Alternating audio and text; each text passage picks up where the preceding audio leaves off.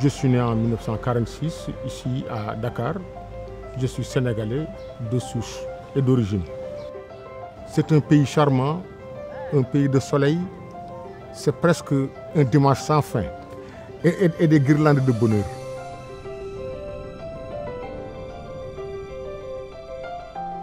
Le Sénégal, un pays de vieille civilisation, dans chaque village, il y avait un arbre à palabres.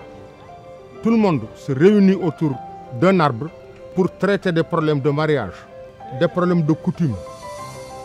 Je me suis toujours évertué à avoir une présence africaine sous l'échiquier du judo mondial.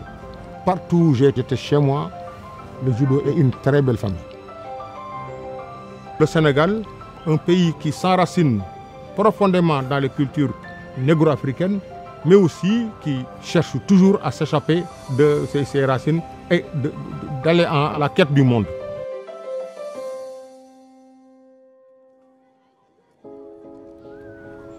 L'Afrique, c'est un continent d'athlètes naturels. Ils ont le rythme corporel, ils ont la souplesse corporelle et aussi l'aisance naturelle de l'athlète. Font que le judo est vraiment la discipline qui peut permettre à l'Africain de faire mieux et plus. L'ouverture de ce dojo, c'est quelque chose de fabuleux pour moi. Il a été prouvé que les enfants qui sont dans des dojos font de bonnes moyennes en classe. Un judoka de 18 ans, à l'heure où les enfants vont dans les bars, quelque chose comme ça, le judoka il est debout de ce qu'il vaut et de ce qu'il est. C'est cet équilibre qui fait que l'ouverture de ce dojo est pour moi une consolation inestimable. Sur la vie sociale, les mêmes techniques qui lui permettent de vaincre un adversaire lui permettront de vaincre les problèmes que nous avons, la- le- le- les factures, euh, euh, le loyer, euh, la santé, le tout.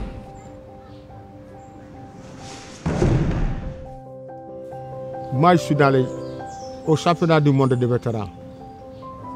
Il est important d'avoir du les gens parce qu'ils se sentent dans leur, dans leur corps, dans leur esprit et leur chair. Mais ça vous sustente, ça vous donne corps. Et c'est très bon pour le corps, pour l'esprit et pour, pour, pour, pour la vie, pour l'aisance de vivre. Le judo est une thérapeutique absolue.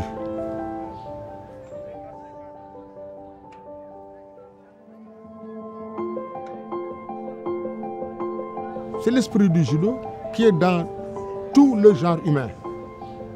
Quelle que soit la valeur politique ou économique d'un pays, les besoins de l'homme sont les mêmes sur la planète des hommes. Le judo, c'est qui, tout ce qui contribue à éloigner l'homme de la médiocrité. Refuser d'être médiocre, c'est aller au charbon, c'est travailler, c'est s'impliquer, essayer de changer son destin. Pour le judoka, rien n'est impossible. Si je refuse d'être médiocre, si je fais reculer les limites de l'impossible, mais je n'aurai que des acquis positifs dans le sens de mon développement.